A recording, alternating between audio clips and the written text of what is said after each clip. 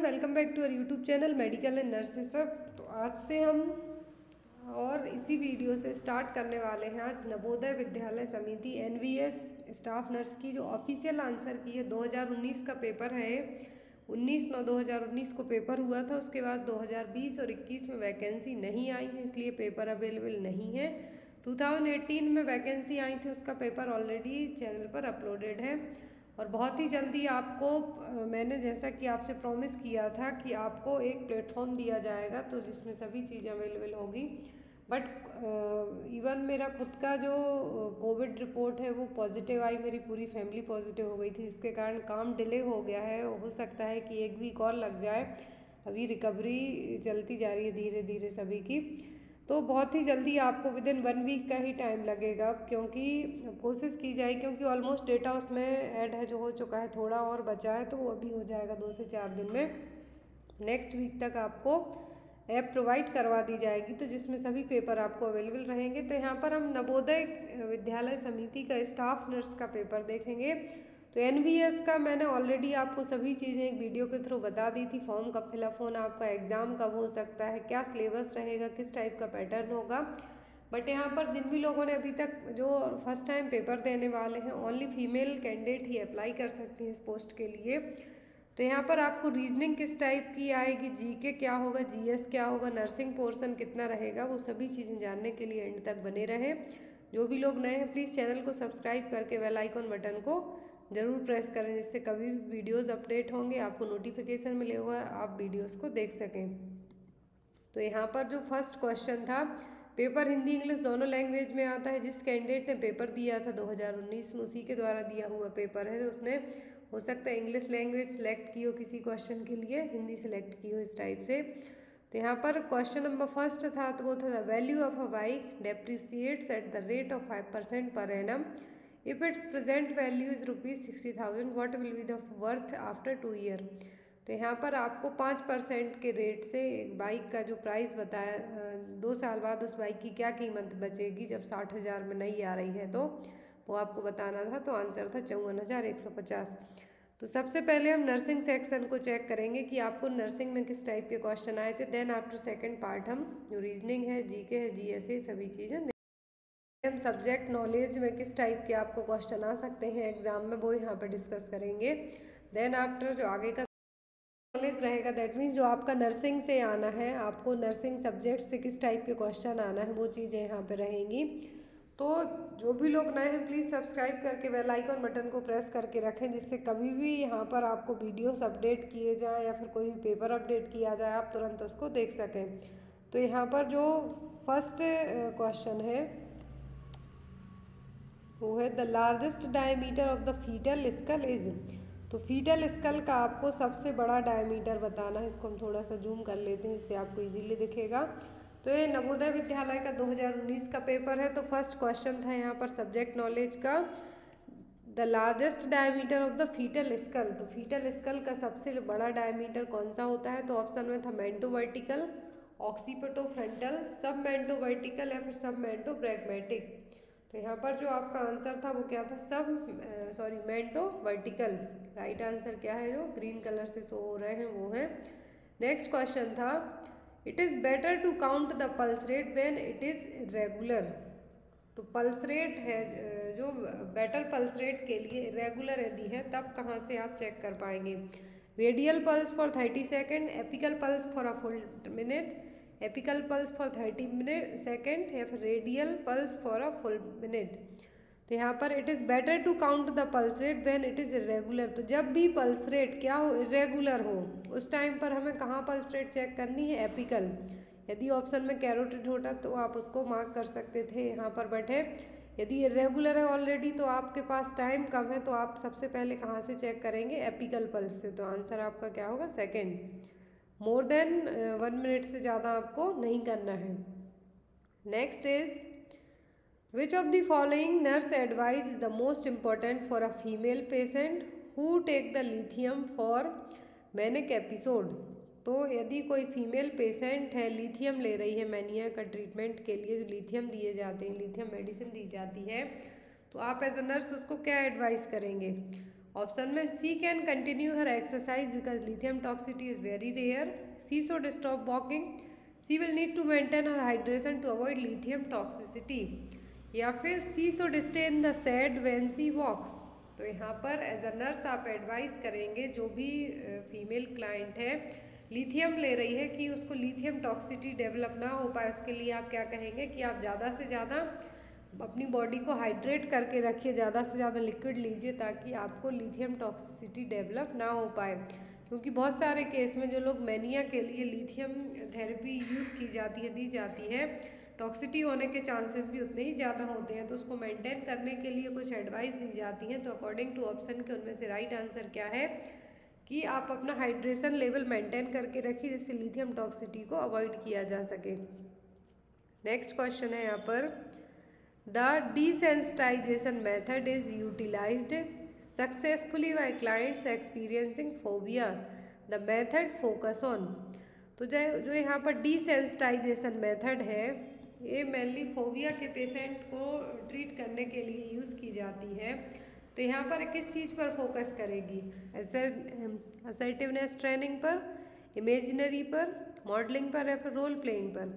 तो फोबिया में क्या होता है? जो चीज़ एक्चुअल में है ही नहीं, उससे आपको हो सकता है डर लगने लगे। इमेजिनेशन जो आप फील करेंगे तो डिसेंसिटाइजेशन जो मेथड होती है, इसमें आपका जो इमेजिनेशन है, उसको कम किया जाता है। तो यहाँ पर आपका आंसर भी क्या होगा? Imagery next is A nurse can increase the comfort of a patient with appendicitis by तो अपेंडिसाइटिस का कोई पेशेंट है तो उसको यदि आप कंफर्ट करना चाहते हैं उसको ऑलरेडी पेन हो रहा है अपेंडिक्स में इन्फ्लामेशन इन्फेक्शन के कारण तो आप क्या, किस तरीके से उसको कंफर्ट लेवल प्रोवाइड करवा पाएँगे? Flexing the patient right knee turning the patient to is left side having patients live prone या फिर making the patient sit upright in the chair तो कौन सा पॉइंट होगा जिससे आप पेशेंट को कंफर्ट है, जो फील करवा सकते हैं? तो यहाँ पर आपका राइट right आंसर क्या होगा? Flexing the patients right knee को ही फ्लैक्स करने के लिए क्यों कहेंगे हम? क्योंकि जो पेन होता है पेंटिसाइटिस का, वो राइट एब्डोमिनल एरिया में होता है राइट लोअर एब्डोमिनल एरिया में। इसीलिए आप पेशेंट को किस टाइप से कंफर्ट दे सकते हैं? कि पेशेंट्स का जो राइट नी है, घुटना है, उसको सीधा फ्लैक्स करके रखें। Next is which numerator is use in computing the crude death rate तो क्रूड डेथ रेट को काउंट करने के लिए कौन सा न्यूमेरेटर यूज़ किया जाएगा? Mid year population total population of last year number of death during the year या फिर number of birth during the year तो क्रूड डेथ रेट के लिए कौन सा न्यूमेरेटर यूज़ किया? जाए एक होता है डिनोमिनेटर दूसरा होता है न्यूमेरेटर तो क्रूड डेथ रेट के लिए जो यहाँ पर न्यूमरेटर यूज़ होगा, वो कौन सा होगा?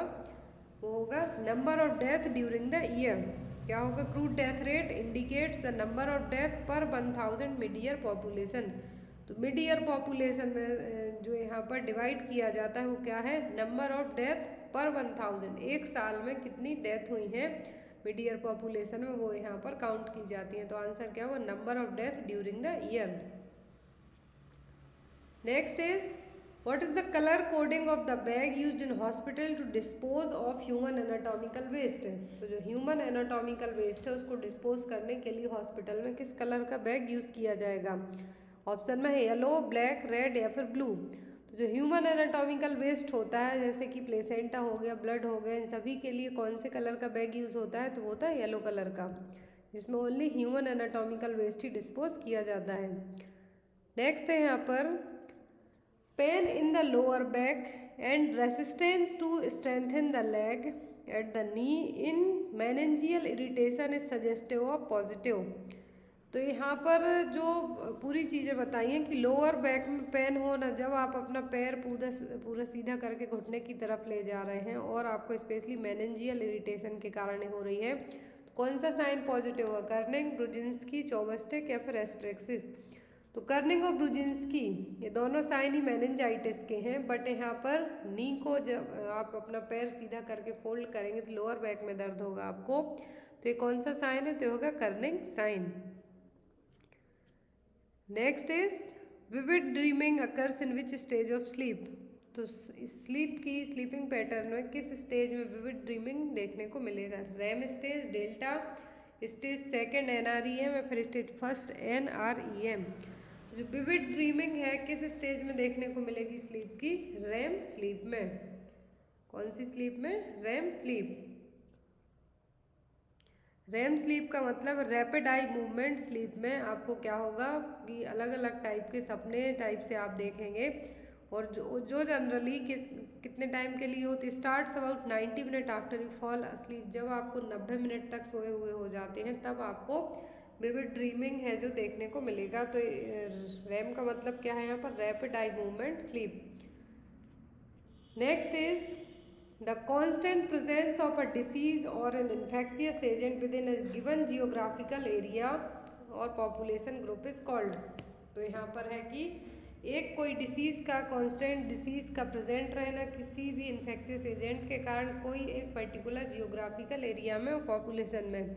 क्या है? एपिडेमिक एंडेमिक स्पोरेडिक या फिर पेंडेमिक तो ये क्वेश्चन चारों ऑप्शन में से कोई सा भी ऑप्शन आपको एग्ज़ाम में आ सकता है, क्योंकि ये रिसेंट में बहुत ज़्यादा फैला हुआ है पेंडेमिक है एपिडेमिक है।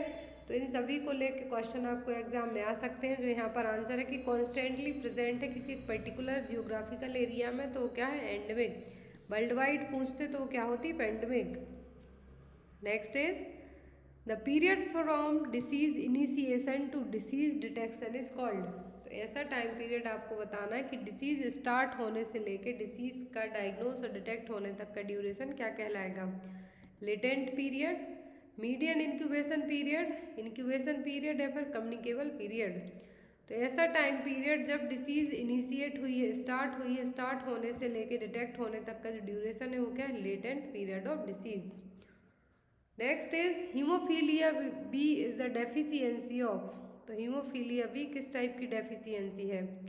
फैक्टर सेवन की फैक्टर एलेवन की फैक्टर नाइन की या फिर फैक्टर टेन की? तो एट एंड नाइन की जो डेफिशिएंसी है, वो क्या हीमोफीलिया बी तो हीमोफीलिया बी में जो क्लॉटिंग फैक्टर होते हैं, उसकी डेफिशिएंसी होती है, कमी होती है। तो यहाँ पर वही है कि हीमोफीलिया में जो डेफिशिएंसी किस फैक्टर की है? फैक्टर नाइन की। तो यहाँ पर आपका आंसर क्या होगा? फैक्टर नाइन दो टाइप के हीमोफीलिया होते हैं ए एंड बी तो जनरली फैक्टर ए है, जो हीमोफीलिया ए है, जो कि फैक्टर एट के कारण होता है, और जो एट्टी फाइव परसेंट हीमोफीलिया है, जो टाइप ए होता है मतलब कि फैक्टर एट की कमी के कारण होता है। यदि एग्ज़ाम में आता है आपको तो याद रखना है कि सबसे ज़्यादा जो हीमोफीलिया होता है, वो होता है फैक्टर एट के कारण। बट यहाँ पर दोनों टाइप की बात की जाए तो जो क्लॉटिंग फैक्टर है फैक्टर नाइन और एट दोनों की कमी के कारण होता है डेफिशिएंसी के कारण होता है। तो यहाँ पर आपका आंसर क्या होगा? Factor nine next is the most commonly use used to prevent the transmission of micro organism from one person to another in hospital setting is तो हॉस्पिटल सेटिंग में एक पर्सन से दूसरे पर्सन में हमें किसी भी माइक्रो ऑर्गेनिज्म को ट्रांसमिट होने से रोकना है तो कौन सी मेथड है जो बेस्ट होगी? Filtering air in hospital disinfecting instrument in special solution changing the bed linen daily या फिर washing hands thoroughly and frequently before after checking the patient तो यहाँ पर क्रॉस कंटेमिनेशन और हमें माइक्रो ऑर्गेनिज्म को एक पर्सन से दूसरे में जाने से रोकना है हॉस्पिटल सेटिंग्स में तो बेस्ट ऑप्शन क्या होगा यहाँ पर? होगा हैंड हाइजीन और हैंड वॉशिंग तो यहाँ पर आपका आंसर क्या होगा? Washing hands thoroughly and frequently before after checking the patient next है यहाँ पर patient complains of pain and has redness with swelling at the site of I V site what should a nurse do first तो एक कोई patient complain कर रहा है जहाँ पर भी उसको आई वी कैथेटर लगाया गया है कि वहाँ उसको पेन हो रहा है रेडनेस हो रही है स्वेलिंग हो रही है तो एज अ नर्स क्या करेंगे आप? Continue the infusion apply warm moist pack to the reddened area stop I V infusion remove I V cannula फिर change I V tubing and the solution तो पेशेंट को वहाँ पर रेडनेस हो रहा है स्वेलिंग हो रही है तो क्या सब हो रहा है फ्लेवाइटिस तो ऐसे केस में आपको क्या करना है? आईवी इन्फ्यूज़न को रिमूव करना है स्टॉप करना है और आईवी कैनेला को रिमूव करना है। Next is the flight of idea refers to which of the following तो फ़्लाइट ऑफ़ आइडिया है जो किस टाइप का होगा? Pattern of rapid transition from topic to topic use of framing words repetition of word hear new word invented by a patient तो flight of idea मतलब आप एक वर्ड से किसी दूसरे वर्ड पे पहुँच जाते हैं, बहुत ही फास्ट तरीके से कि सीधा टॉपिक ही बदल दिया आपने तो क्या हो गया? Flight of idea next is the commonest presentation of vesicular moles तो वेसिकुलर मोल है, सबसे ज़्यादा किस टाइप के होंगे? Vaginal bleeding abdominal pain expulsion of grape like vesicles from vagina या फिर वॉमिटिंग तो वेसिकुलर मोल का कॉमनेस्ट प्रेजेंटेशन क्या है? वेजाइनल ब्लीडिंग नेक्स्ट है यहाँ पर an infection in a patient with compromise defences by an agent of low virulence that would not produce infection in a normal patient is known as तो इस, एक इस type का इन्फेक्शन है जो कि ऑलरेडी एजेंट की जो क्या है डिफेंस मैकेनिज्म ऑलरेडी कंप्रोमाइज हो चुकी है मतलब उसको उस चीज़ की आदत पड़ चुकी है। लो व्यूरिलेंस का मतलब है यहाँ पर कि जो पैथोजन है उसकी क्षमता ही नहीं है उतनी ज़्यादा कि उसको हार्म कर सके। That would not produce infection in a normal patient is known as और इस टाइप का किसी और पर्सन में इन्फेक्शन क्रिएट नहीं कर पाएगा। तो एक इस टाइप का इन्फेक्शन हो गया। सब क्लिनिकल नोजोकॉमियल, अपॉर्चुनिस्टिक या फिर एट्रोजेनिक इन्फेक्शन।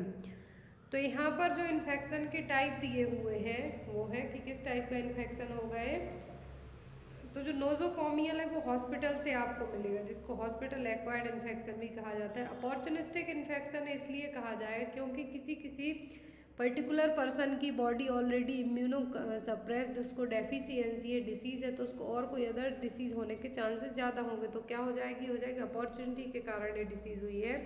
और जो एट्रोजेनिक इन्फेक्शन है तो एट्रोजेनिक इन्फेक्शन जनरली डॉक्टर्स के थ्रू पेशेंट को होगा, या फिर जो हॉस्पिटल सेटिंग है, वहाँ से होगा आपको। तो किसमें आ जाएगा? एट्रोजेनिक इन्फेक्शन में। मेडिकल सर्जिकल मैनेजमेंट के थ्रू होगा इन्फेक्शन तो क्या है? एट्रोजेनिक इन्फेक्शन हॉस्पिटल एक्वायर्ड और नोजोकोमियल जो कि हॉस्पिटल से होगा आपको। अपॉर्चुनिस्टिक इन्फेक्शन का मतलब है कि कोई भी पैथोजेनिक ऑर्गेनिज्म उस पर्सन उसी पर्सन को अफेक्ट करेगा जिसकी बॉडी ऑलरेडी क्या है? बहुत ज़्यादा या तो इम्यूनिटी सप्रेस डिसीज़ है उसके लिए या फिर कुछ अदर प्रॉब्लम है तो वो क्या हो जाएगा? Opportunistic infection next is in mild hypothermia the temperature ranges तो हाइपोयूरेमिया में टेम्परेचर की रेंज क्या होगी? Thirty six point five to thirty six degree Celsius less than thirty two degree Celsius less than thirty six point five to thirty seven या फिर less than thirty six to thirty two centigrade तो temperature होगा hypothermia के patient वो कितना होगा? Less than thirty six point five to thirty six degree Celsius in which year was India declared a smallpox free country by International Commission for Assessment of Smallpox Eradication तो भारत को smallpox free कब declare किया गया था? 1977 में। कब? 1977 में।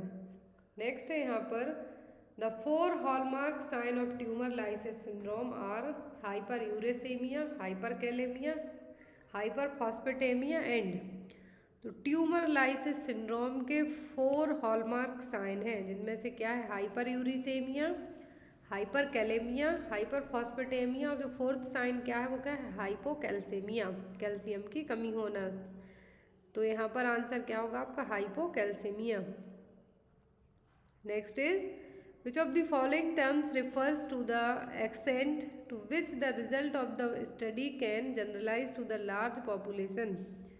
तो कौन सी जो वैलिडिटी है पॉपुलेशन को लेके यहाँ पर लार्ज पॉपुलेशन के लिए यूज़ की जाएगी? इंटरनल एक्सटर्नल कंटेंट या फिर प्रोडक्टिव वैलिडिटी तो लार्जर पॉपुलेशन के लेवल पे पूछा है तो क्या है? एक्सटर्नल वैलिडिटी नेक्स्ट है यहाँ पर following electroconvulsive therapy the patient should be carefully observe for जिसको भी ईसीटी e दी जा रही है तो आप किस चीज़ के लिए सबसे ज़्यादा ऑब्ज़र्व करेंगे? सीजर्स के लिए नोजिया वॉमिटिंग के लिए डिजीनेस के लिए या फिर रेस्पिरेटरी डिफ़िकल्टीज़ के लिए। तो जो ईसीटी e दी जाती है जब पर्सन को तो उसमें जो ओरल सीक्रेशन है म्यूकोसा ज़्यादा सीक्रेट होता है तो उसको एस्प्रेट ना कर पाए पेशेंट इसीलिए उसको हम कुछ मेडिसिन भी देते हैं। बट क्या चीज़ हमें सबसे ज़्यादा ऑब्ज़र्व करनी है, वो रेस्परेटरी डिफ़िकल्टीज़ तो यहाँ पर आपका आंसर क्या होगा? फोर्थ रेस्परेटरी डिफ़िकल्टीज़ नेक्स्ट है यहाँ पर in which year was the pulse polio immunisation programme तो पल्स पोलियो इम्यूनाइजेशन प्रोग्राम कब लॉन्च हुआ था भारत में? 1995 में, उन्नीस सौ पंचानवे में। नेक्स्ट है यहाँ पर the site of growth in the length of a long bone is long bone की जो साइट है जहाँ पर ग्रोथ होती है, वो क्या कहलाएगा? Diaphysis part periosteum epiphyseal plate या फिर bone marrow site of growth in the length of a long bone long bone में जो ग्रोथ होती है वो क्या epiphyseal plate next is which artery supply oxygenated blood to the stomach तो stomach के लिए कौन सी आर्टरी है जो ऑक्सीजनेटेड ब्लड की सप्लाई करती है? कैरोटेड सेफेलिक गैस्ट्रिक या फिर सीलियक तो जो आर्टरी है स्टमक तक ओनली ऑक्सीजनेटेड ब्लड सप्लाई करती है तो क्या coeliac artery next is last product of the process of blood coagulation is तो ब्लड कोआगुलेशन का सबसे लास्ट प्रोडक्ट कौन सा है? थ्राम्बोप्लास्टिन फाइब्रिन थ्रोम्बिन या फिर प्रोथ्रोम्बिन तो यहाँ पर जो आपका आंसर होगा, वो क्या होगा? ब्लड क्लॉटिंग का लास्ट जो पूरी प्रोसेस होती है स्टेप बाय स्टेप तो लास्ट प्रोडक्ट क्या बनता है? फाइब्रिन प्रोडक्ट बनता है ब्लड कोआगुलेशन प्रोसेस का, वो क्या होता है? फाइब्रिन जो ब्लड क्लॉटिंग के फैक्टर हैं पूरे, वो आपको एग्ज़ाम में आ सकते हैं, इसलिए आप पूरे फैक्टर है जो नाम वाइज याद रखें और कौन सा किस स्टेप तक जाता है। क्योंकि आपको एग्ज़ाम में आता है एक्सटर्नल और इंट्रेंसिक और एक्सटेंसिक दोनों टाइप के पाथवे भी आपको याद रखना है। तो टोटल कितने फैक्टर होते हैं? टोटल थर्टीन होते हैं, जैसे आपने क्रेनियल नर्व याद रखना है, वैसे ही ब्लड कोआगुलेशन जो प्रोसेस के फैक्टर हैं ब्लड क्लॉटिंग फैक्टर वो भी याद रखना है। Fibrinogen prothrombin tissue prothromboplastin calcium ion लेवाइल factor stable factor anti haemophilic factor anti haemophilic factor क्यों कहा जाता है? फैक्टर एट को क्यों किसी के कारण हीमोफीलिया होता है?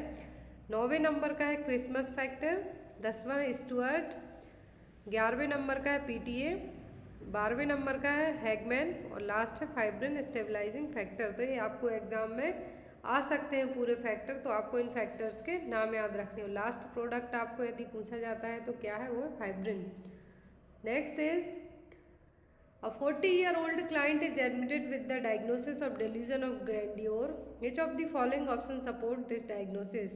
तो डिल्यूजन ऑफ़ ग्रैंड्योर आपको पता होना चाहिए कि इसमें क्या होगा ऑप्शन में delusion for being responsible for evil world delusion of being highly famous and important delusion of being connected to client unrelated to oneself delusion of being killed delusion of persecution यदि आता है तो fourth नंबर का option होगा आपको। Delusion of grandeur का मतलब है कि पर्सन अपने आप को बहुत ज़्यादा फ़ेमस और इम्पोर्टेंस है जो देने लगता है। उसको लगता है कि उसके अंदर कोई सुपर नेचुरल पावर है जो सब काम कर रहा है। तो यहाँ पर आंसर क्या होगा आपका? Delusion of being highly famous and important हो सकता है कि आपको मेरी वॉइस है जो उतनी प्रॉपर तरीके से सही से नहीं आ पा रही हो क्योंकि गला अभी भी थोड़ा सा ख़राब है। बट जैसे जैसे ठीक होते जाएगा तो वॉइस भी ठीक होती जाएगी। नेक्स्ट क्वेश्चन है यहाँ पर। Kubler Ross five successive stage of death है एंड डाइंगर कुबलर रॉस की सिंपल सा क्वेश्चन है। तो पाँच स्टेज हैं वो कौन सी हैं? ग्रीफिंग प्रोसेस की। तो वो denial anger bargaining depression and acceptance first आती है आपको यदि तो डिनाइल है। सेकंड स्टेज पूछते हैं तो anger third is bargaining fourth depression और लास्ट वन क्या? एक्सेप्टेंस। पर्सन अपने आप ही उस चीज़ को एक्सेप्ट कर लेगा। तो यहाँ पर सक्सेसिव स्टेज पूछी है तो क्या है? Denial, anger D A B D C A इस टाइप से याद रख सकते हैं आप D A B D A next है यहाँ पर, the most common cause of acute bacterial meningitis in the age group of six month to five years which has been virtually eradicated by the effective vaccine is तो यहाँ पर bacterial meningitis के acute bacterial meningitis के जो छः महीने से लेकर पाँच साल तक की एज ग्रुप के बच्चों में होने का कारण बनता है जनरली उसको एक वैक्सीनेशन के थ्रू भी इरेडिकेट किया जा सकता है। तो कौन सा बैक्टीरिया होगा? ऑप्शन में cryptococcus neoformans haemophilus influenzae type B streptococcal pneumonia meningitis या फिर निसीरिया मैनजाइटिस तो जो आंसर होगा आपका वो क्या होगा? वो होगा हीमोप्लस इन्फ्लुएंजा टाइप बी, क्योंकि यहाँ पर ये भी कहा है कि इफ़ेक्टिव वैक्सीन के थ्रू हम इसको है, जो ट्रीट कर सकते हैं वर्चुअली रेडिकेट कर सकते हैं। बट यहाँ पर कारण बन सकता है तो क्या haemophilus influenzae type B. Next है यहाँ पर, a thin transparent mucous membrane that covers the inner surface of the eyelids and that interior surface of the eyes तो कौन सा पार्ट है? थिन है ट्रांसपेरेंट है म्यूकस मेम्ब्रेन का बना हुआ है। आईलेट को कवर करके रखता है इंटीरियर और जो इनर सरफेस है उसके लिए तो क्या? है conjunctiva next is isolation of a child with measles belongs to which level of prevention तो यदि हमने किसी बच्चे को आइसोलेट कर दिया मीजल्स से उसको तो किस टाइप के प्रिवेंशन में आएगा? इंटरमीडिएट प्राइमरी सेकेंडरी या फिर टर्सरी तो आएगा प्राइमरी में, क्योंकि हम उस बच्चे को क्या कर रहे हैं, हमने आइसोलेट किया हुआ है ताकि वो दूसरों को ना मीजल्स की सिचुएशन दे सके। तो यहाँ पर आपका आंसर क्या होगा? Primary level of prevention next है, बहुत ही इजी क्वेश्चन कॉप्लेक स्पॉट्स तो Koplik spots associated with the diagnosis of which of the following disease Koplik spot किस डिसीज में देखने को मिलते हैं? तो ये देखने को मिलते हैं मीजल्स में। Next is a patient addicted to the drugs says everyone I know is using cocaine which why shouldn't I this is an example of तो एक पेशेंट है ड्रग लेता है एडिक्टिव है, कहता है कि सभी लोग कोकीन लेते हैं तो मैं क्यों नहीं ले सकता? तो किस टाइप का है? प्रोजेक्शन है डिनाइल है इंटेलेक्चुलाइजेशन है, फिर रिग्रेशन है। तो इसमें उसने अपनी गलती ना मान के किसी दूसरे को ये चीज़ कर, कह दी तो क्या हो गया? Projection next is the right common carotid artery arises from तो राइट कॉमन कैरोटिड आर्टरी के कहाँ से ओरिजिनेट होती है? तो ये होती है ब्रैक्योसेफेलिक आर्टरी से। इस टाइप के क्वेश्चन जिसमें आपको ऑप्शन बताने की बजाय सीधा आंसर दिया जाना चाहिए तो वो सीधा आंसर आपको देते जा रही हूँ, क्योंकि इनमें आपको सीधा याद रखना है कि राइट कॉमन कैरोटिड आर्टरी कहाँ से निकलती है? ब्रैक्यूसेफेलिक आर्टरी से। नेक्स्ट है यहाँ पर the collection of the lymphatic fluid in the pleural space due to the leak in the thoracic due to sorry thoracic duct is known as lymphatic fluid का pleural space में collect होना क्योंकि thoracic duct से leak हुआ है तो क्या कहलाएगा? ऑप्शन में काइलोथोरेक्स प्लूरोडेसिस हीमोथोरेक्स या लिम्फोथोरेक्स लिम्फेटिक फ्लूड यदि प्लूरल स्पेस में पहुँच रहा है, किसके कारण? क्योंकि थोरेसिक डक्ट के यहाँ से लीकेज है तो क्या कहलाएगा? Chylothorax next is which of the following response are not forbidden during the chemotherapeutic communication sorry therapeutic communication के टाइम पर हमें क्या रिस्पॉन्स है जो नहीं भूलना है? Asking close ended question giving the advice reflecting and clarifying या फिर आर्ग्यूइंग एंड जजमेंटल रिस्पॉन्स तो जो चीज़ें फॉरगिवनेस लाइक नहीं है, वो क्या है? रिफ्लेक्टिंग एंड क्लैरिफाइंग जो भी चीज़ें हैं, हमें उनको क्लियर करना है। Next is in inborn error of metabolism that cause the premature destruction of RBC तो प्रीमेच्योर डिस्ट्रक्शन ऑफ़ आरबीसी किसके कारण होगा? किस चीज़ की एरर के कारण होगा? G six P D homocystinuria phenylketonuria फिर सीलियक डिसीज़ तो आरबीसी का जो प्री मेच्योर डिस्ट्रक्शन होगा, वो किसके कारण होगा? जी सिक्स पीडी के कारण। नेक्स्ट है यहाँ पर the auscultatory area in the left mid clavicular line at the level of fifth intercostal space the area is तो कौन सा एरिया है जहाँ पर फिफ्थ जो इंटरकोस्टल स्पेस रहेगा? मिड क्लेविकुलर लाइन के पास में ट्राइकस्पिड ओटिक पल्मोनिक या फिर मिट्रल तो ये कौन सा वॉल्व होगा यहाँ पर? होगा mitral area next is dyslexia refers to the dyslexia का मतलब क्या है? Learning disability behavioural disability motor disability या फिर साइकोलॉजिकल डिसेबिलिटी डिसलेक्सिया का मतलब होता है लर्निंग डिसेबिलिटी सीखने में कुछ कमी होना. Next is a patient is admitted with borderline personality disorder milieu therapy is plan for the patient the nurse is aware that focus of this therapy is तो आपको पता होना चाहिए कि मिलियोथेरेपी हमने कॉग्नेटिव थेरेपी के टाइप पढ़े हैं अलग अलग तो वही थेरेपी में से आपको एग्ज़ाम में यदि क्वेश्चन आता है तो सभी थेरेपीज पता होना चाहिए। तो मिलियो थेरेपी में क्या किया जाता है? Manipulate the environment to bring about positive changes in the behaviour milieu therapy यदि दी जा रही है पर्सनैलिटी डिसऑर्डर के पेशेंट में तो उसके आसपास का क्या वातावरण है उसको मैनिपुलेट करने की कोशिश की जाएगी। उसको इस तरीके से प्रेजेंट किया जाएगा कि अभी ऐसा नहीं है। और उसको पॉजिटिव रहें चीज़ें, वही चीज़ें मिलियोथेरेपी में चेंज की जाएँगी तो वो क्या होगी? Manipulate the environment to bring about positive changes in the behaviour next is which option describe the orthopnoea तो ऑर्थोपनिया में कौन सा ऑप्शन सही होगा? Ability to breathe only in upright sitting और standing position difficulty in breathing rhythmic waxing waning of respiration फिर slow breathing तो orthopnoea में क्या होता है कि जब आप बैठे हों तो अचानक से यदि आप लेट जाते हैं, तब आपको सांस लेने में दिक्कत होगी। ना कि आप राइट सिटिंग पोजीशन और स्टैंडिंग पोजीशन में ब्रीदिंग प्रॉब्लम होगी। तो आंसर क्या होगा आपका? Ability to breathe only in upright sitting और standing position next is which of the following is the gold standard for diagnosis of TB तो tuberculosis diagnose करने के लिए गोल्ड स्टैंडर्ड टेस्ट कौन सा है? Chest X ray blood culture Mantoux test या Mycobacterium sputum culture तो best और गोल्ड स्टैंडर्ड क्या होगा यहाँ पर? माइकोबैक्टीरियम जिसके कारण ट्यूबरक्लोसिस की सिचुएशन डेवलप होती है, उसी का स्पुटम कल्चर है, जो गोल्ड स्टैंडर्ड टेस्ट माना जाएगा। Next is a terminally ill patient usually does not experience which of the following feeling following feeling during the anger. तो जो पेशेंट टर्मिनली इल है, उसमें कौन सी चीज़ें हैं जो एंगर की स्टेज में, गुस्से की स्टेज में नहीं डेवलप होंगी? नम्बनेस रिसेंटमेंट एनवे या फिर रेज तो इस टाइप के पेशेंट में नम्बनेस है जो फील नहीं होगी एंगर स्टेज में. Next is in the tuberculin test the area of induration is measured after तो ट्यूबरक्लिन माउंटेक्स टेस्ट एरिया कितने जब पीपीटी इंसर्ट कर दिया जाता है जो प्रोटीन डेरिवेटिव्स इंसर्ट किए जाते हैं, उनके बाद कितने टाइम तक वेट किया जाता है? अड़तालीस से बहत्तर घंटे तक।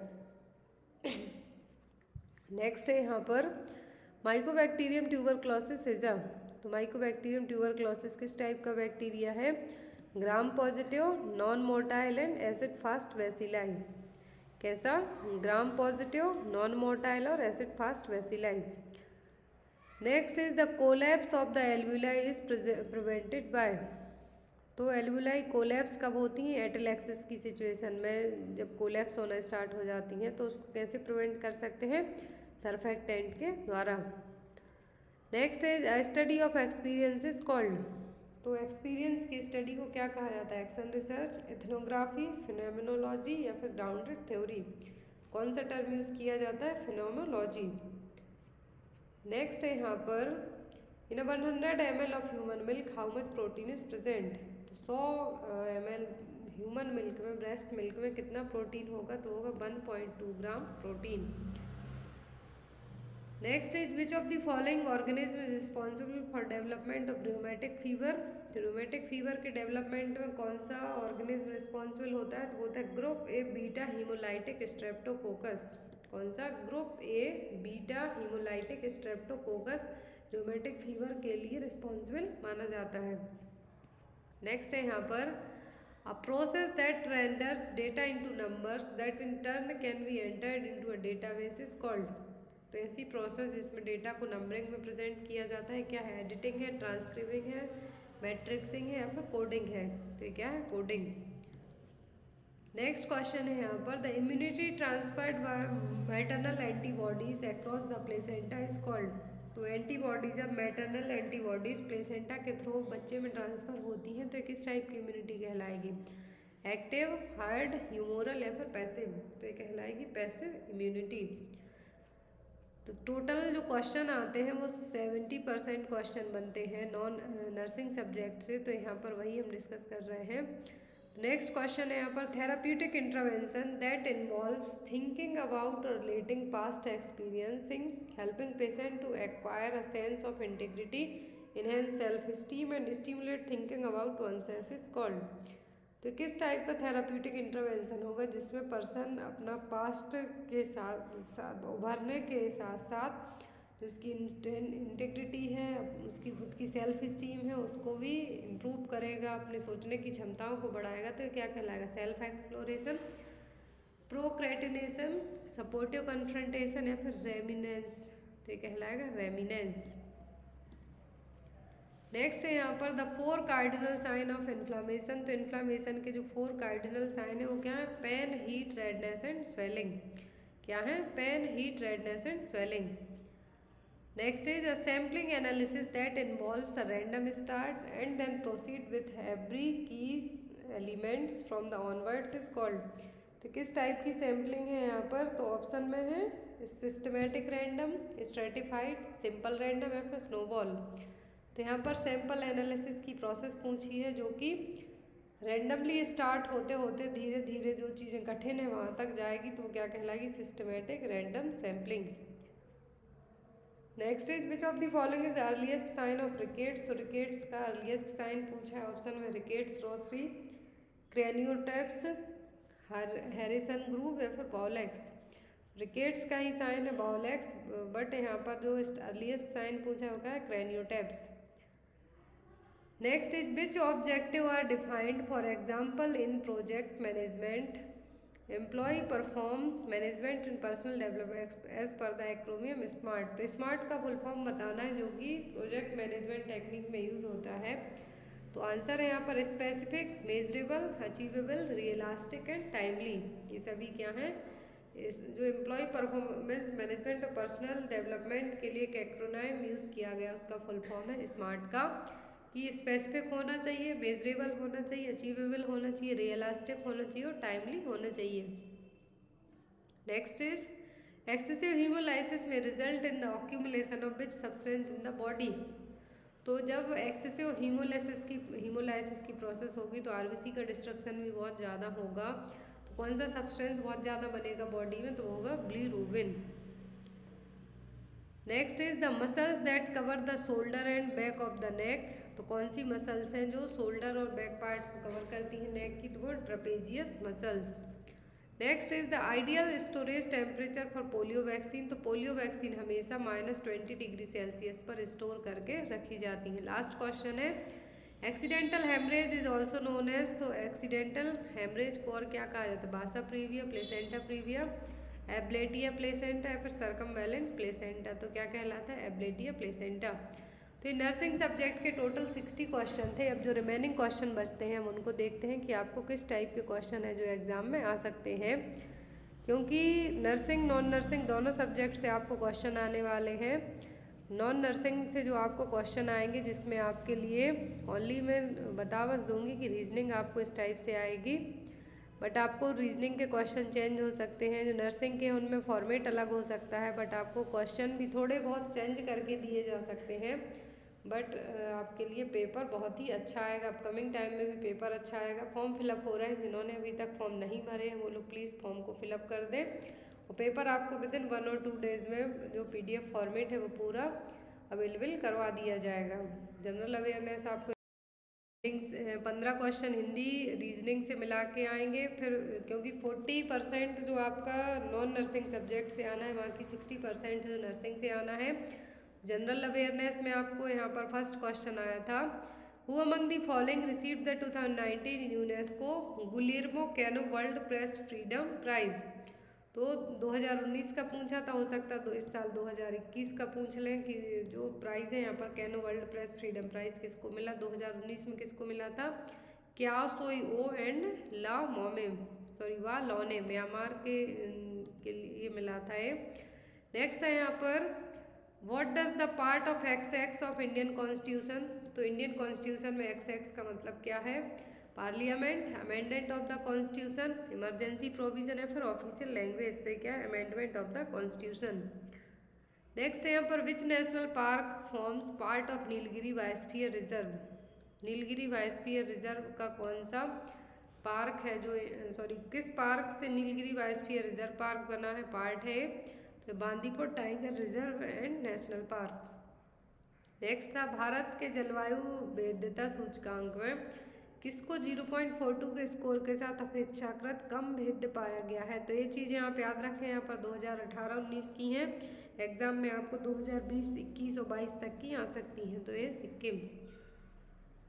नेक्स्ट है यहाँ पर which country awarded its highest civilian honour to the ex ISRO chairman A S Kiran Kumar? तो किसके लिए हाईएस्ट सिविलियन ऑनर प्राइज मिला था? जो कि एक्स इसरो चेयरमैन रहे हैं ए एस किरण कुमार तो वो थे फ्रांस के।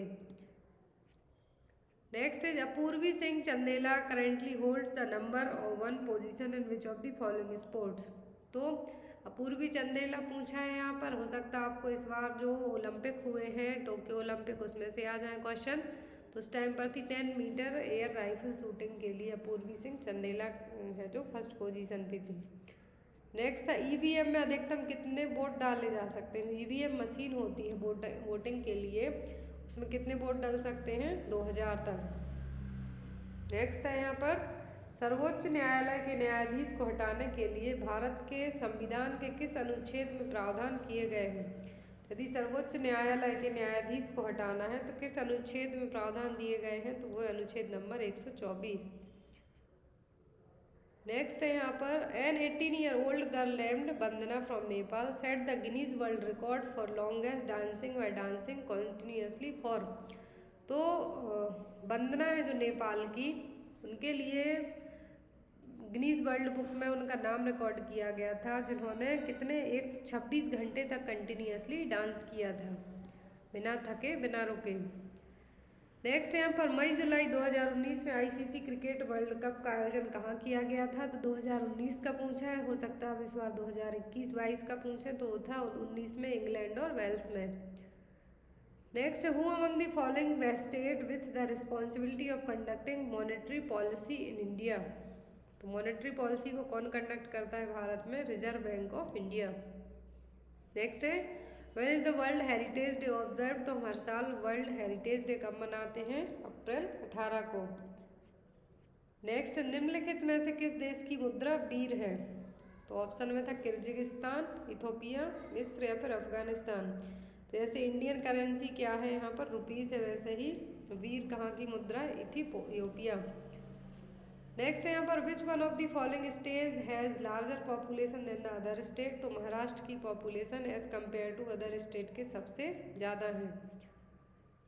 नेक्स्ट गोवा में किस वर्ष में पुर्तगालियों से स्वतंत्रता प्राप्त हुई थी? तो गोवा में स्वतंत्रता प्राप्त हुई थी कब? 1961 में। फिर लैंग्वेज कॉम्पिटेंसी टेस्ट में से आपको क्वेश्चन आएँगे। टोटल मिला के जो आपको क्वेश्चन रहेंगे, बहुत ही अच्छे और सिलेक्टेड क्वेश्चन आएँगे। तो हमने नर्सिंग सब्जेक्ट देख लिया रीजनिंग देख ली करंट अफेयर देख लिया, आपको यहाँ पर हिंदी से भी क्वेश्चन आएँगे। तो टोटल जो फोर्टी परसेंट है, वो नॉन नर्सिंग होगा, बाकी सिक्सटी परसेंट नर्सिंग सब्जेक्ट से।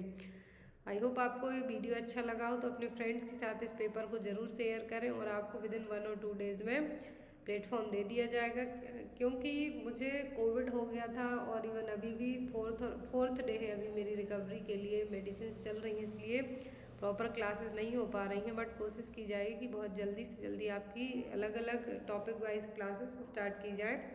Guys thank you for watching us